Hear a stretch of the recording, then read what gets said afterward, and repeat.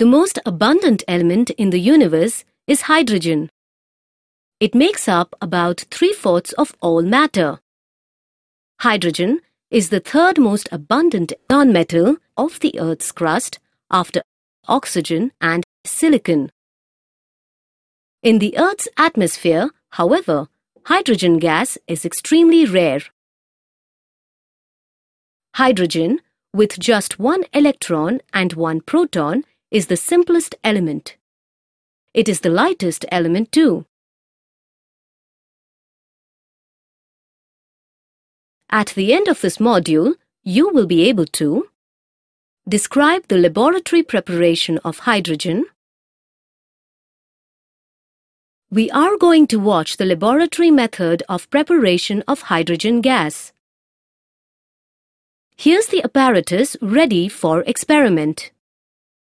We have a few pieces of granulated zinc taken in the bottle here. A gas jar containing water is inverted over a beehive shelf placed in a trough containing water. The apparatus is airtight. We pour dilute sulfuric acid through the thistle funnel until it covers the zinc pieces.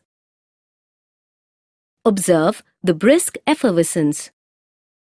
This is because zinc displaces hydrogen from the sulfuric acid, leaving behind a solution of zinc sulfate. Watch how hydrogen gas bubbles through water, displacing it downwards through the beehive shelf and into the trough. Interesting? Hydrogen forms an explosive mixture with air. Therefore, it is always collected by downward displacement of water. Hydrogen is a promising energy source that may eventually replace fossil fuels in petroleum-based combustion engines and coal-fired power plants.